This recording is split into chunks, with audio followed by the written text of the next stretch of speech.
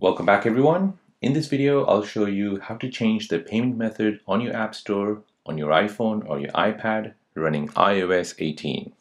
So with the release of the new iOS 18, let me show you where to find this information on your iPhone or your iPad. So first you want to go ahead and go to your settings.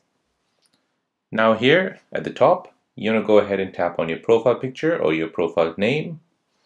This will take you to your Apple account now to see your payment information, go ahead and tap on Payment and Shipping. This will use Face ID in order to verify you. Now as it reads, my payment method is currently set to PayPal and that is my default method.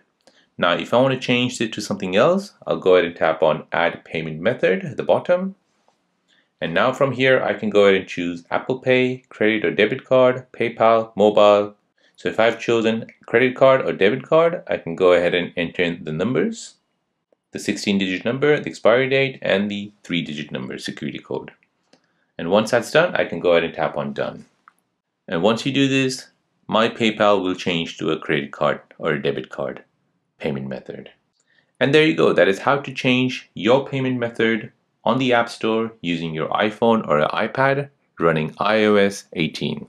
Now, if you're new on the channel and you want to find out more about your iPhone, your Android phone, or any other social media apps, then don't forget to subscribe to this channel, hit the like button if you find this video useful. Thank you for watching and see you in the next one.